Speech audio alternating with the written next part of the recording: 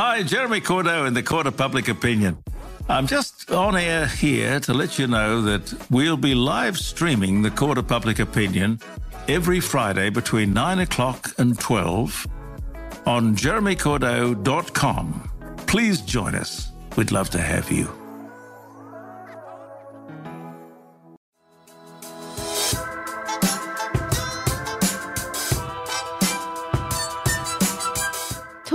Marketing is a podcast for business owners and leaders, produced by my dad, Steve Davis, and his colleague at Talked About Marketing, David Olney, in which they explore marketing through the lens of their own four Ps person, principles, problems, and perspicacity.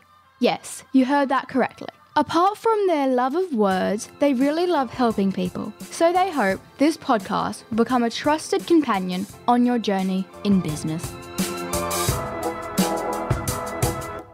David, I'm nervous about the title for this particular episode Misery, Tragedy, and Community, because it kind of sounds like three dwarves from a really dark version of Snow White. Yeah, I'm really wondering how dwarf number three is going to get over dwarf number one and two. However, the thing about this podcast and our approach to life is we've got to be eyes open, so to speak. Oh, David, I didn't realize what I was just saying there, but we've got to be aware that there's negative in with all the good stuff. That's true. The negativity plays such a big role and we have to manage it. Yeah. So let's start managing it by strapping in for the first segment all about the person. Our four Ps. Number one, person. The aim of life is self development, to realise one's nature perfectly. That is what each of us is here for. Oscar Wilde. There's only one thing worse than being talked about, and that's not being talked about. That's the famous quip from Oscar Wilde. And obviously, it's the quip after which our business and podcast is named. And I think, ironically and beautifully and poetically, we're going to be talking about Oscar Wilde in this first segment, all about the person. And David, this is partly due to you because you thankfully referred me to a brand new biography of Oscar Wilde, simply entitled Oscar by Matthew Sturgis. It is a tour de force, meticulously researched as I said to you when I had got a couple of hours into it, I don't mind who Matthew Sturgis writes about from now on. I will listen to the book just because of the kind of quality biographer and writer he is. But really, listeners, important thing here is this is sort of part of our title today. So much of Oscar Wilde's life was tragic and full of misery, despite being born to a successful family and having the intellect he had and the educational opportunities. You know, he did not know how to spiral. Well, he did not know how to stop himself spiraling. Yes. And that's where the entry point is here. Something for all of us as owners or leaders of small businesses or entities of any sort is we have to take the reins and you know, push through, even if we are uh, taken over by a sense of, well, whether it's tragedy, whether it's sadness, depression, things go right, things go wrong, it's something we have to deal with. And I'm hoping in this short conversation, we can show ways to pinprick through whatever the grey clouds are. So there's still some sun coming through so that we don't lose hope and we can move on. I was particularly moved by uh, some passages in the book in which Oscar Wilde had been jailed. He was jailed, as you may, may, may or may not know, for indecency. And while he was serving his term, very bleak conditions he uh, had no real access to anything to read which, until a governor with a, a late change in his um, prison situation towards the end of his term uh, restate reinstated books but he was he was lost and it was mm. only with the new governor as he had conversation with him and was able to thank him he made the comment that out of all this bleak experience in prison he was about to forego comedy and dedicate his life to tragedy. That's how much it had affected him. And this is the man who left us with amazing bits of comedy, his aphorisms all through life, but also his his piece de resistance, which was the uh, the importance of being earnest. Let's just have a listen to this quick reflection uh, in jail. Wilde chose to believe that the improvement in his circumstances should be traced back to the Parisian production of Salome, which had obliged the government to accept that he was an artist of enduring and international repute. It was a base upon which to build. Frank Harris had assured him that he might find a regular outlet for his prose in the Saturday Review. There were projects he wanted to attempt. Comedy might have to be given up. I have sworn solemnly to dedicate my life to tragedy, he informed Warder Martin. If I write any more books, it will be to form a library of lamentations. Mm, so there's Oscar Wilde, and, you know, everything is tragedy. David, there's something that came up in a conversation you and I had recently in which you coined a phrase, the consistency of misery. And that seemed to uh, resonate with the, the, the, the plight that Oscar Wilde went through, particularly through the latter half of his life, where he seemed to just cascade from one disaster to another. Yeah, it's a really interesting concept, and I came across it you know, when I was still working on my PhD, it's an idea from an American psychiatrist called William Glasser. And Glasser was famous for two things being at odds with mainstream psychiatry and being a very, very effective psychiatrist who helped a lot more people reliably than most mental health professionals could in the 1980s and 1990s because he'd seen some big ideas and followed them to their logical conclusion. And one of the big things he realized with people is we can cope with a bad day if the bad day isn't much worse than the last bad day. So we can get used to the consistency of misery. And if you all think about it, you all know someone who, if something positive happens, they'll immediately say something negative as if they're preparing for everything to go wrong again. And for Glasser, this was the consistency of misery. You get used to the idea that, well, bad days don't get worse, they stay the same. So if I make every day that equal level of bad, as much as it's not lovely, lovely is rare and fragile and gets my hopes up. But the consistency of misery, well, I'm still alive, I'm still functioning, and I don't get my hopes up, and the world hurts at a common, consistent level as I go along. And Glasser actually thought it was one of the biggest thing that affects well-being. That you know, such a huge proportion of people live in the consistency of misery. And he would literally, after a few sessions with clients, explain the consistency of misery to them and then literally just ask them, Are you aware that you are living in a permanent state of the consistency of misery? And it would often result in them going through meltdown and being very unhappy when they had the realization mm. that he was correct. But then hopefully emboldened to be able to take some steps to lift themselves up. Otherwise, they're going to live the rest of their life like Eeyore from mm. Winnie the Pooh. Yeah, and this was Glasser's point. You know, once people had the realization of, hang on, maybe he's right, Glasser would sort of make the point, well, if you're up to doing something about it, let's get on with it. If you don't feel you're up to doing something about it, or you don't think I'm the right person to help you, then let's just end this here, and either you go find someone else or come back when you're feeling up to it.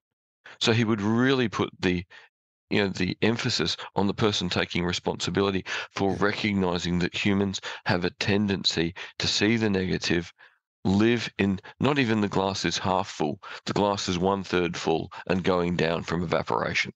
Don't stay there. It's too detrimental. Right so he wanted to turn that around. He as a psychologist he wanted to be a glasser half mm. full yeah. Mm. it's interesting because i Having heard that, uh, my eyes then pricked up as I saw different things whip past me in the social media stream. One of them was uh, Emanuel from Flinders Run. He, uh, we're working with him on his website at this time of recording, and he made a comment to his wine industry friends. He says, In business, We can get bogged down worrying about the negative news we read on social media, the impacts of these trying times are inflicting on the, the wine and related industries. But in amongst the doom and gloom, there are shining stories surfacing. It's important as a business owner to take the time to reflect on your work and celebrate the wins, no matter the size, big or small. They are your wins and the result of your hard work and tenacity pushing forward in your pursuit for success. Would it be right to say Glasser would approve this style of thinking? Because it's not uh, just him alone. I've heard lots of different people. Uh, we're reading a book at the moment called The Decisive Mind and makes a point of acknowledging those little triumphs you have along the way, a little bit of reward. So this does, Emanuel seems to be bottling that. He's very much tapping into something that you know lots of people have thought about, and it's something sort of listeners that's useful for anyone who wants to, you know, try and counter negativity. And what positive psychologists, and it is a whole discipline now, have told us is that for every negative you encounter, it takes three positive things to counter the negative. So don't, you know, doom scroll on social media mm. because it takes so much positive to counter it. And a really big tool in positive psychology for making sure you see the positive in the world is last thing before you go to bed at night piece of paper and a pencil, write down in three sentences what went well and why. You know, three instances of what went well and why. And it doesn't matter if you did it, the world did it, another person was kind. You just want to capture at the end of every day three little things that went well and why. And if that's the last thing in your head, that counters the negatives of the day more effectively. And if you need to in the morning, look over at it and remind yourself that's how your day ended with three positives. You know, to remind yourself to look for the positives rather than to just get lost in the negatives, you know, as the day goes on. That's actually a pretty handy thing to do and not that hard. I've known about it for a while. I've never done yeah. it. So, David, you've got permission every time we meet to ask me, have you put the pen and paper behind, beside your bed yet? Can you yep. take on that responsibility? I can do that for you. Now, I tend to do it with a computer because, of course, writing would be pointless for me. But I find it actually works really well when I'm stressed. Wow. It's a really good way to counter stress. I maybe do it a couple of weeks a year when I feel my stress level is just too high. So last year, just as the other master's thesis was being finished and you know, my cousin was dying of cancer. It was like, right, I need a formal structure here mm. to take the edge off the day. And it worked as well as it's always worked. Yeah. And one last uh, observation another podcast I create for uh, National Centre for Vocational Education Research. It's called Vocational Voices. We recorded one for National Skills Week, and one of the speakers was saying when you see figures come out for an industry, they might say, hospo, hospitality jobs, they're disappearing. He said, remember they're talking at a macro average level. Within that sector, there are still new jobs being advertised. So we need to almost have a judicious approach to the way we absorb news, articles, whatever, to not just run away with the emotional depth charge that the author has laden it with, but let that blast, let that disappear, but then apply some sort of rationality to to uh, look behind the details. Probably not a bad thing to do at all. So I'm hoping that uh, helps bring some light at the end of the tunnel and some uh, strategies for maintaining a buoyancy as we push through in whatever endeavour we're involved in. Our four P's. Number two, principles. You can never be overdressed or overeducated. Oscar Wilde.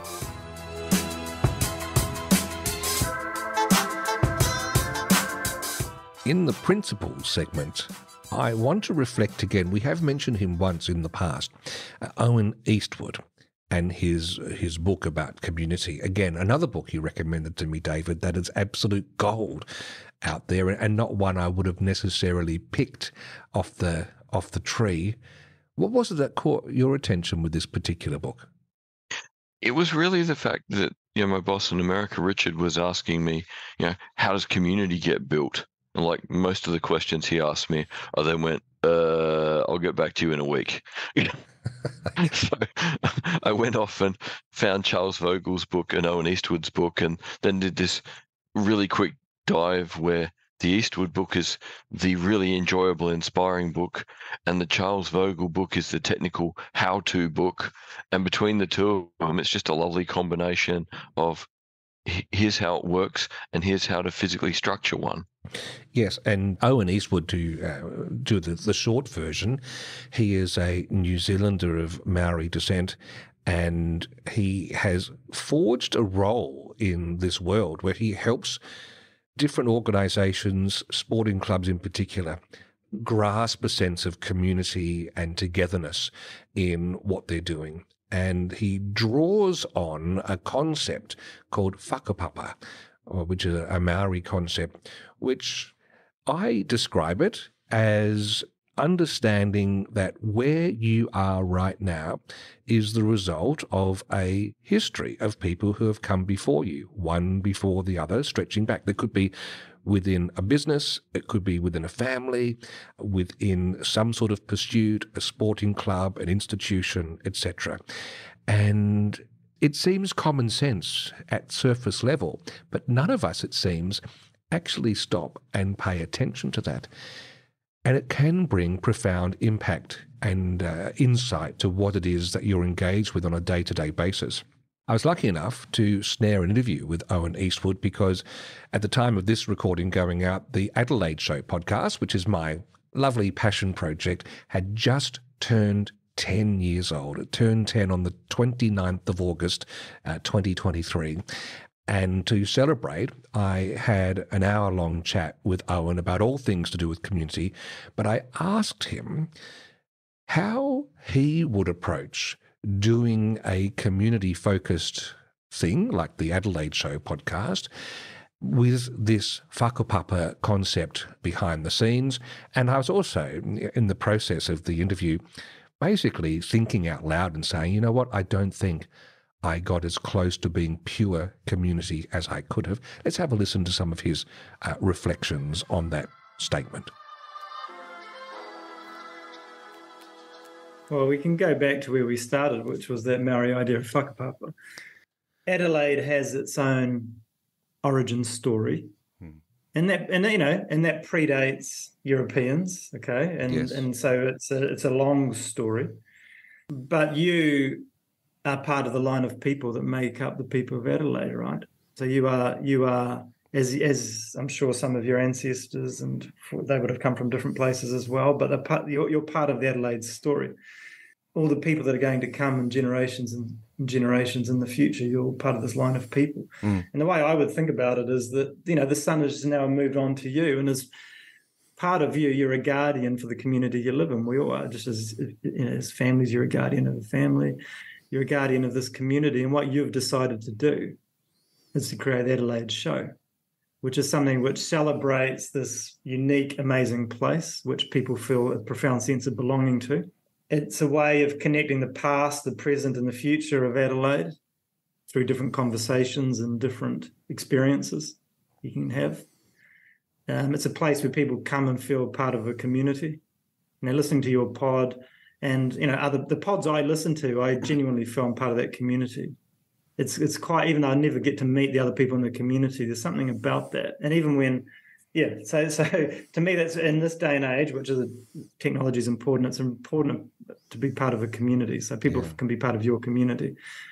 You know, ultimately when the sun moves on from you in the future, this will be part of the legacy that you've you have left. And I think it's a wonderful thing to have done. And you know, there's no limits really around how you can utilize that, is there? because the, the the idea of representing all of Adelaide, the idea of creating a place of community, the idea of creating opportunities for an Adelaide to connect with each other and to have experiences, all of that is like quite mind-boggling as to what, where you could go with it all. So to me, I think if you elevate it above, you know, your own interest in interviewing people and some of those things, and elevate it to I'm actually doing this for a purpose. Mm. It's for the people of Adelaide yeah, is it, to showcase us, It's to represent us, then we will where could it go? Well, it's fascinating. I think in getting ready for this, because your book really does, it ricochets in my head. I changed the wording on the homepage from originally about, uh, I forget what it was, to you are not alone. Mm, and you can spend time with people who also share South Australia with you. Mm. And I, I think, uh, to me, that's where it, if that is earnestly what is being done here, then I think that's fine. It will carry through. But I know there are people who run different groups and communities. It's not just this is not just me. This is for anyone else listening in who wants to do something community based. I really do appreciate the fact that that that whakapapa vision of looking for where this had begun and acknowledging that hey, the sun's shining on you at the moment. What do you, what's your responsibility, and what do you think for the the future? How do we check ourselves to make sure it's not ego driven? Driven? Have you got any? Because in sport and some of your big performers, ego must surely get tangled up. Is there, is there a way to disarm it, or is can we like a surfer making use of the energy of a wave? Can we harness the energy of our egos? That's a that's a that's a great way to put it. I mean, we want ego, but we want it to be aligned with a higher purpose. So you know, there is no great teams I'm aware of where there aren't strong egos, if you want to use that expression. So that's not a problem. And the same with the Adelaide show with your and also what is not a problem as well is if we have a financial incentive or motivation around what we're doing, there's nothing wrong with that. What's important is to be authentic about what we're trying to achieve and why mm. and articulate that. And um, you, but you can do both things at once. You can have an amazing personal journey and have your ego um, flying as well as representing your country. And you can also have a business which is brings great value and benefit to a community, and at the same time has a financial hmm. engine, engine which you're running as well. Those things can go together. That's it's about being authentic about what they are. And you know, sometimes um, these don't think, have to be things that last for 100 years. You might decide the Adelaide Show, for example, is something which is so woven with who you are that it's a project that you will do for a set period of time may not go to another generation. So that, they're all fine. There are no rules around this, but it's just making sure that when the sun's shining on you, you make the most of the opportunity. All right. So he was very generous in his comments there. But I think from the, the reason I wanted to bring it up in this conversation, David, is, and this has come up with different conversations I've had recently, you can go through the motions of whatever enterprise or activity you're engaged in. In fact, I just finished recording another interview uh, for Vocational Voices in which there was reflection on a particular training program. And the thing, the cream that rose to the top that made it successful is everyone engaged didn't just do the job, they tapped into the spirit of what was trying to be achieved. They dug deeper. They actually crafted meaning out of what could have just been purely transactional. And I think that's within arm's reach for many of us if we want it to be. Would that be a good takeaway from Owen Eastwood's work, David? I think a great way to combine, you know, your experience with that, you know, conversation you were talking about there, and with Owen's work is, you don't find meaning, you make it. You don't find community, you make it. And in both cases, if you connect to other people who've already made meaning or made community, when you join, you don't passively join what they've already done. You have to add something to it because it's now different because you're involved. So it's always a case of, you know, not just turning up. I remember reading a great book uh, about resilience that made the argument optimism is important, but it has to be active optimism. Passively hoping things will be okay doesn't work. You have to actively make them okay. And I think meaning and community are much the same. Passively waiting to find meaning and community, well, it'll just, you know, go past you on the road. Why would the road train stop for you if you haven't got your arm out waving? You have to actively be seeking to join in and contribute. And, you know, the NCVER sort of perspective really captures that very well, getting people involved in doing things that are meaningful. And interestingly, the project that I talked about there was working with Aboriginal and Torres Strait Islander uh, health workers, and everyone involved had to take the approach of having yarn time and reflection time.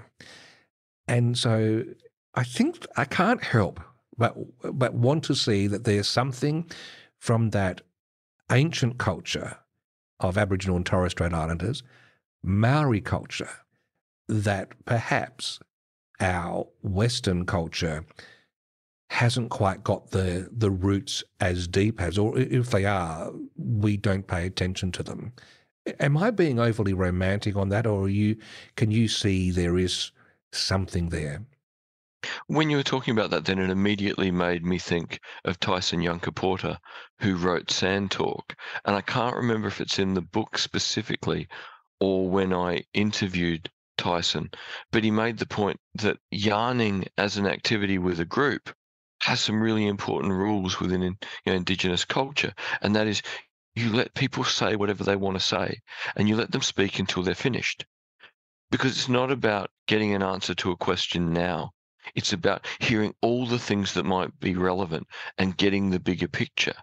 And that's really hard in our rushed modern world where it's like, I've got a question, give me an answer. No, no, no, I don't want all the context. Well, actually, without all the context, how are we going to know if we've found the answer? So it's about us slowing down and giving ourselves and others the time to say what they need to say so that we can find the meaning or the community in all of the things that are part of the broader context. That is the frustration. This whole yeah. thing, you've got to invest time in it to get yeah. to get the rewards. And in a way of sort of drawing this segment to a close with something actionable, one of the things that is a common theme with all of Owen Eastwood's work is, and, and, and I, I encourage if you haven't, to listen to The Adelaide Show, episode 380, uh, to hear Owen go into this in full. But getting people to sit down, uh, he had the, the, the, the head honchos of NATO, you know, three or four really important generals, actually take time to stop and tell each other the story of how they got to be where they are, which is an incredible investment of time if you think about all the stuff, mm. all the pressure on them. But he's done that with uh, people at IBM. He's done that with the South African cricket team, and so on and so on. And from it, the fruits are magnificent. We're doing it at the moment as we experiment with our own community called the High Table, which we'll be sharing more and more about as we go through this process of taking that time to listen to other people's journeys about how they got to where they are because you see commonalities as well as differences. And it's really simple, but everything I was confessing to you, David, everything in me eh, wants to, I think it's my radio background, want to keep keep things ticking over quickly. You've got to really quench that urge and give time. So, in a workplace, in an organization, you may not be able to do this with 150 employees in one group, but the smaller groups, the smaller departments, taking this time will probably yield greater rewards than you might imagine. Your final thoughts, David? Yeah, I think a practical step we could take away from this is if you just want to have a conversation with someone to get to know them and how they see what's going on. That is actually really worthwhile to do that broader context to understand where they're coming from and how it contributes. And that will probably take twice as much time as you think it will.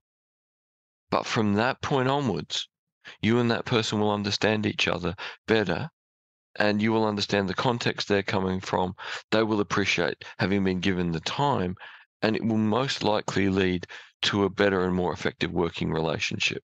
So it's worth the effort of finding the time early to improve the relationship and the communication long term. Our four P's. Number three, problems. I asked the question for the best reason possible. Simple curiosity. Oscar Wilde. I mentioned in the last segment, David, doing the Adelaide Show podcast for 10 years. I had a little bit of a surprise just recently when I received a legal letter uh, because this AI bot has been crawling the web uh, looking for any use of images that uh, weren't properly licensed. And so this is a really timely segment, probably one of the most important ones from the mailbag that we've gone through, just happens to be my mailbag. It turns out that for a backdrop image thrown together quickly a few years ago, I grabbed a picture of a, an empty theatre and uh, I, it must have been an absolute brain fade because I don't do that as a normal thing. I would go to sources and either be my material that I'm using or sources where things are properly licensed. Anyway, the letter came in wanting uh, $1,400 on behalf of uh, Associated Press to have payment as well as removing the image. I chatted with local lawyer, uh, Paul Gordon. I don't mind mentioning his name. He's a wonderful human and lawyer. And he said, look, they are within their rights to ask this, and these letters are popping up everywhere now. Mm. Uh, but it does seem excessive ask them to rethink the amount. Uh, especially because the Adelaide show makes zero money. It is purely a commercial, a community venture. Uh, lo and behold, they said actually they had wrongly categorized it, and the the figure was like seven hundred and something dollars. And we tried one more time to to try and get that lowered, but that was the amount which has now been paid, and it's going to be a real thing. So I've often told people not to do it. I just got caught out by doing it myself and uh, rightfully chastened. Uh, but uh, I'm pretty sure everything else I've ever used has been original or properly licensed. But I think if you've ever decided to take a shortcut and use the general image from the internet, these AI bots uh, can detect images with great accuracy, and you may be getting a letter like this. So, to be forewarned is to be forearmed. So, you can learn from my mistake, and I hope you'll all go through any material you've got now, and if you have done a dodgy, get that rectified. And unsplash.com is a wonderful site for accessing images that you're allowed to use legally. I've got the paid version, which is not very much money at all. Uh, from memory, it was 60 or $80 a year, and you have access to a lot of beautifully licensed images that you're allowed to use for free. Our four P's. Number four, perspicacity. The one duty we owe to history is to rewrite it. Oscar Wilde.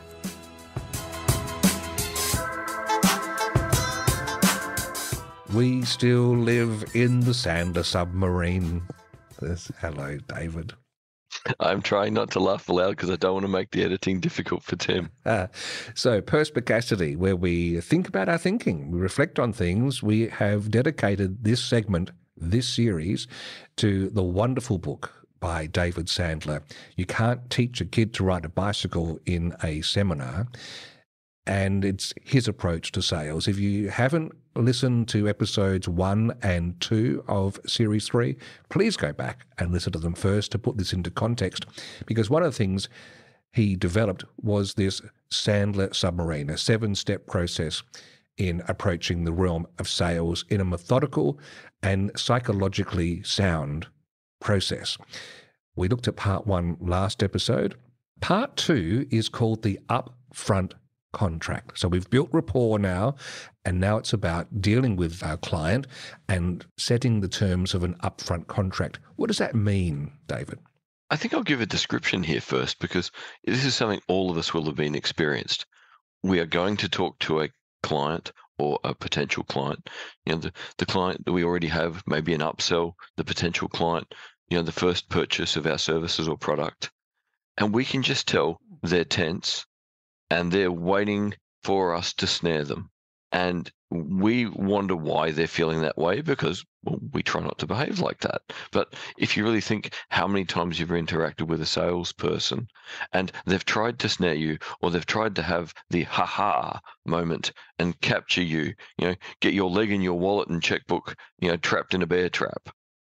And Sandler realized the best way to get around this was to lay out what we're going to talk about today, what we can both expect to achieve, that it's okay to ask questions, that it's okay to say, uh, this isn't going well, I don't understand, uh, I want us to go back to first principles, and to have an idea where we're going to be at the end of our meeting so that nothing is an ambush, nothing is dangerous, nothing is too confronting.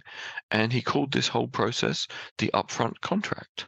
And it's a disarmingly simple concept at one level because it's just common sense. It's just something in the dance of sales that isn't named typically. My feeling is everyone should do upfront contracts as often as possible when there's any chance that the conversation they're going to have with someone could be misunderstood or could lead to unnecessary tension that is then going to have an emotional impact on both people.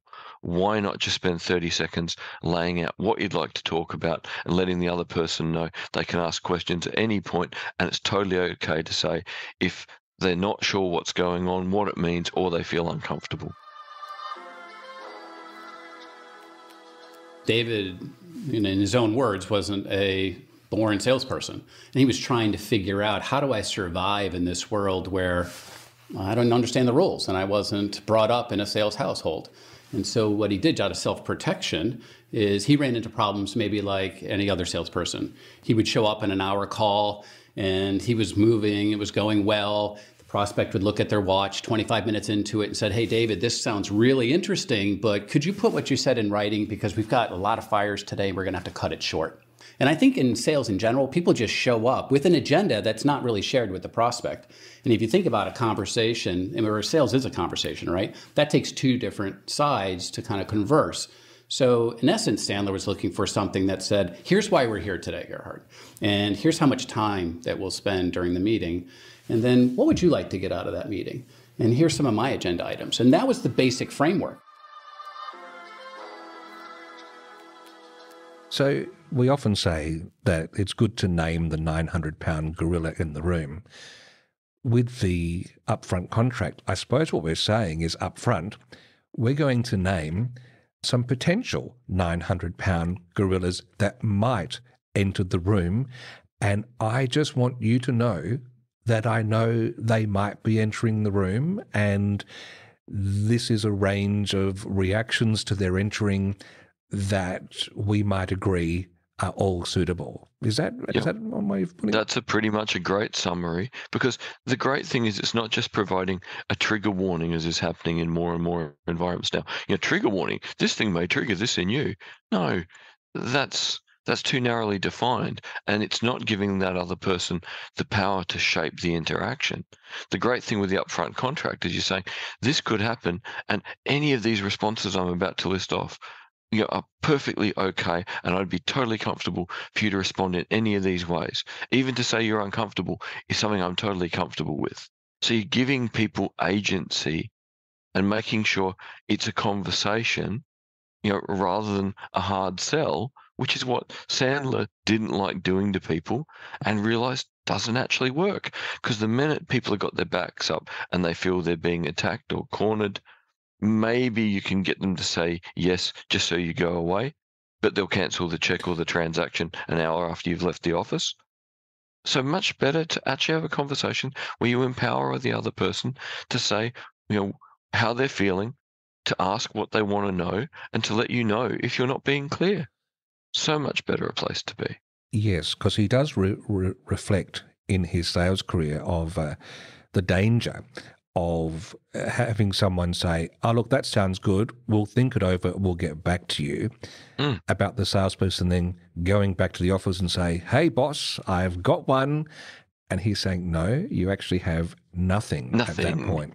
Mm-hmm. And so perhaps we'll finish with a couple of examples of this, but the example he talked about there in his application of the upfront contract is to be on the phone or in person with a prospect saying, We're about to talk about this, and there are a couple of things that will be fine. Either I have convinced you of the usefulness of my solution and you can afford it, and we're all happy, in which case you say, Yes, let's proceed.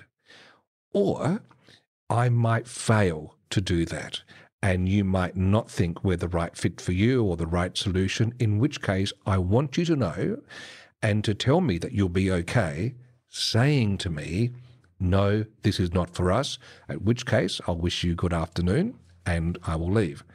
What I don't want us to do is to get to the point where you say, I need to think it over. Uh, can we agree up front that that if, if, if that is where you're at, we'll consider that it is a no and we'll close the books at that point or engage in further conversation if we think that's possible. Uh, that's one example he used, isn't it, David? Yeah, it, it's the classic Sandler one, and it's very much the sales oriented one. That the ultimate way to put a decision off is to say we need more time or I need to brief other people. So part of an upfront contract with David Sandler would be to say, okay, if I'm going to come and do a presentation uh, to the decision makers about whether you're going to potentially invest in our product or service, are you the only decision maker or is there a broader group?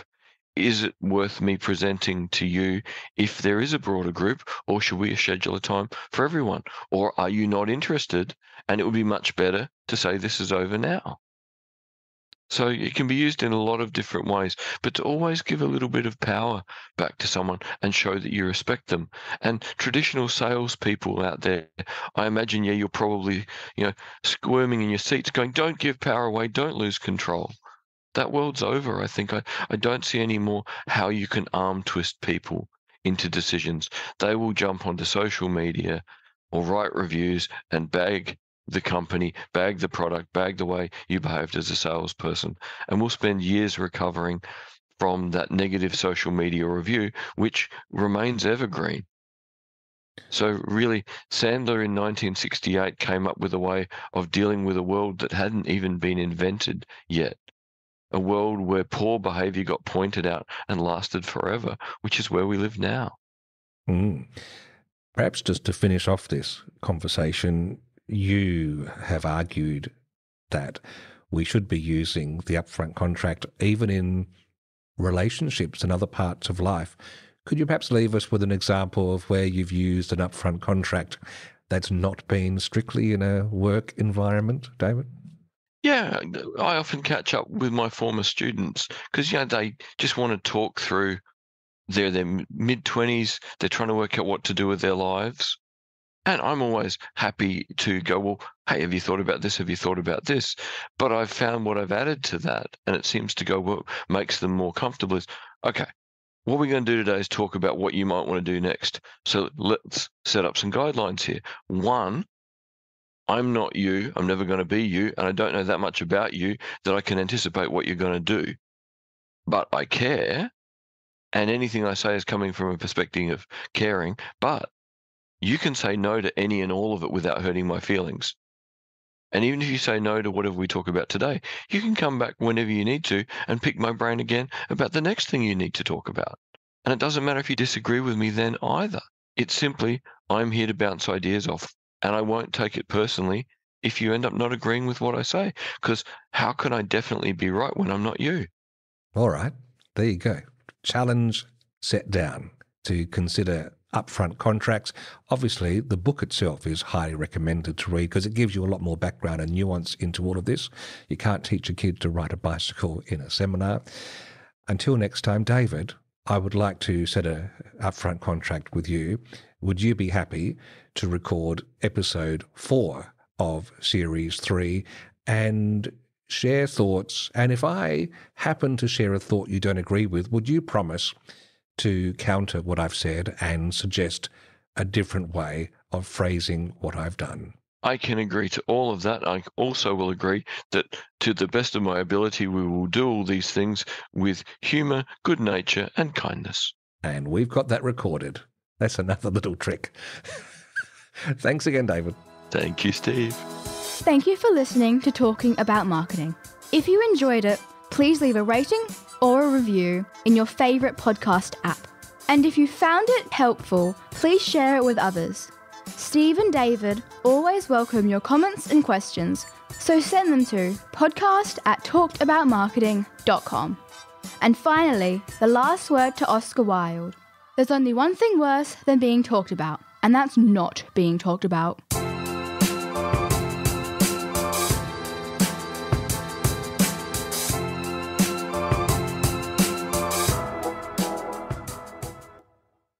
Hi, Jeremy Cordeaux in the Court of Public Opinion. I'm just on air here to let you know that we'll be live streaming the Court of Public Opinion every Friday between 9 o'clock and 12 on jeremycordeaux.com. Please join us. We'd love to have you.